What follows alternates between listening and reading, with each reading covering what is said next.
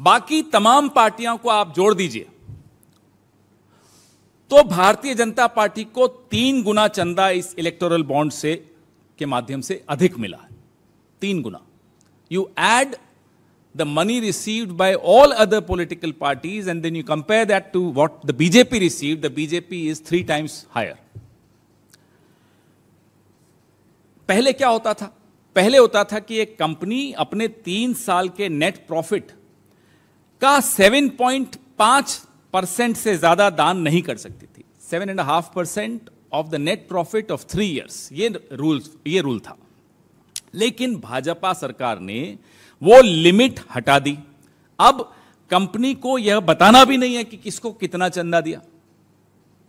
देखिए कितना अपारदर्शी है। व्यक्ति दे सकता है कंपनी दे सकती है, बिना किसी को यह बताए कि कितना दिया, किसको दिया, क्यों दिया। इतना बड़ा बेनामी धन किसी पार्टी के खाते में आ जाए तो हमें अब स्पष्ट तौर पे समझ में आ रहा है कि काला धन कैसे सफ़ेद होता है। जो राहुल जी कहते हैं कि वो फेयर एंड लवली स्कीम है। तो ये फेयर एंड लवली स्कीम का एक ज्वलंत उदाहरण है कि एक पार्टी के खाते में ये सारा पैसा जाता है और सफ़ेद हो जाता है। ईडी सीबीआई इनकम टैक्स न इनके कोई छापे पड़ेंगे, न ये दरवाजे पे दस्तक देंगे इस पार्टी के।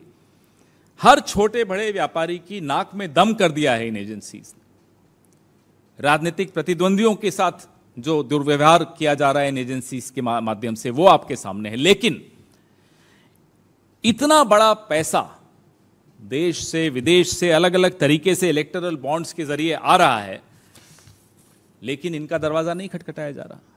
उसैया भय कोतवाल, कोई डर ही नहीं है। नमस्कार, मैं हूँ मानक गुप्ता। अगर आपको हमारा ये वीडियो पसंद आया हो तो इसे लाइक और शेयर ज़रूर करें। और हाँ, हमें सब्सक्राइब और फॉलो करना ना भूलें, ताकि आप देश और दुनिया की कोई खबर मिस ना करें। तो जुड़े रहिए हमारे साथ और देखते रहिए न्यूज़ 24